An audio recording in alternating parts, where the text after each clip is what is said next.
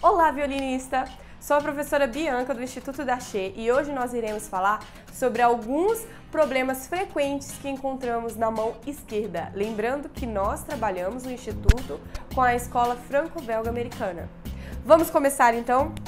O primeiro problema, geralmente, é não verificar se os seus dedos estão posicionados de lado, já que quando posicionamos eles retos no espelho, fica bem complicado conseguir colocar o quarto dedo, além de atrapalhar na afinação. Isso. 2. Confira se o seu dedinho não está esticado, apontado para o teto.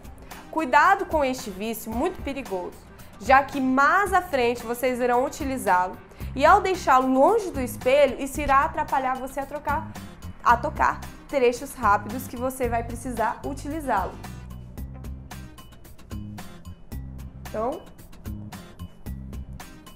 sempre curvado. 3. Confira se o seu pulso ele não está dobrado para dentro ou para trás. Isso também irá atrapalhar você, além de causar muita tensão na sua mão. Número 4. Veja também se sua mão está virada para o espelho. Isso atrapalha principalmente a tocar trecho rápido quando ela está muito longe. Então, trazer mais para perto. 5. Não aperte demais os dedos na corda.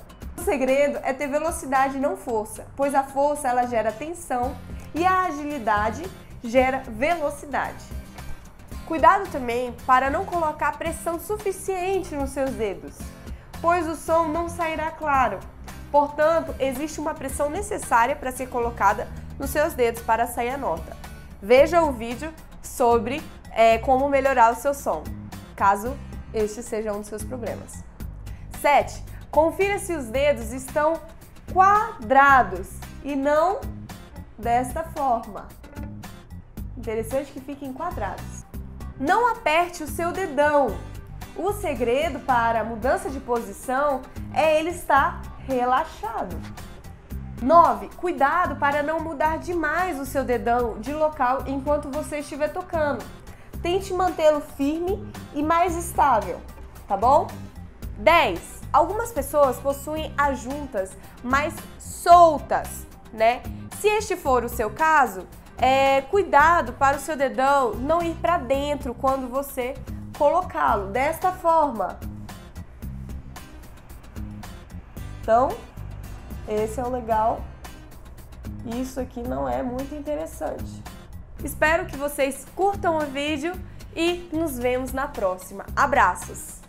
Cadê meu violino também? 4. Eu falei o 3? Não, não falei o 3. E não força, pois a força gera tensão e a... Vamos gravar vídeos? Não, corta isso. Vai que já gravou e a pessoa assiste. Vamos comer.